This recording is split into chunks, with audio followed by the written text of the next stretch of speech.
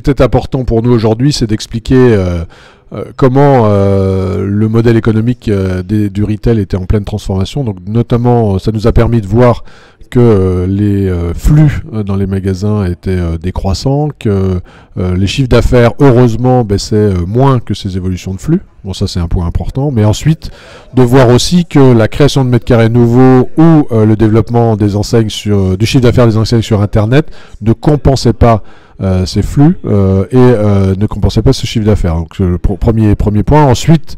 ce qui est important d'appréhender pour nous, c'est euh, les problématiques de la vacance commerciale, on, vous savez qu'on en parle souvent, euh, et on veut euh, mettre en, en, exergue le fait que, bien sûr, aujourd'hui il y a un gros travail qui est fait sur le centre-ville, mais qu'il faut pas oublier le reste du commerce pour demain et de la modernisation pour le faire, et notamment bah, l'augmentation des problèmes qui peuvent se poser dans un certain nombre de centres commerciaux, notamment les plus petits, et, et également que ça peut arriver dans les centres plus grands, donc il faut être très attentif et travailler ensemble pour que ce soit euh, pas le cas, et notamment sur des sujets euh, de euh, toujours les mêmes, de niveau de loyer et de refacturation de charges pour qu'ils soient en phase avec les évolutions de cette activité.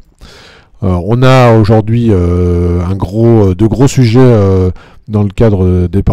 des, discussions parlementaires et gouvernementales. Donc le, projet de loi Elan euh, que l'on soutient euh, très fortement, euh, puisqu'il fixe à la fois de bonnes méthodologies de travail et de bons objectifs. Objectifs parce qu'il est favorable au, centre-ville, mais surtout aux villes moyennes.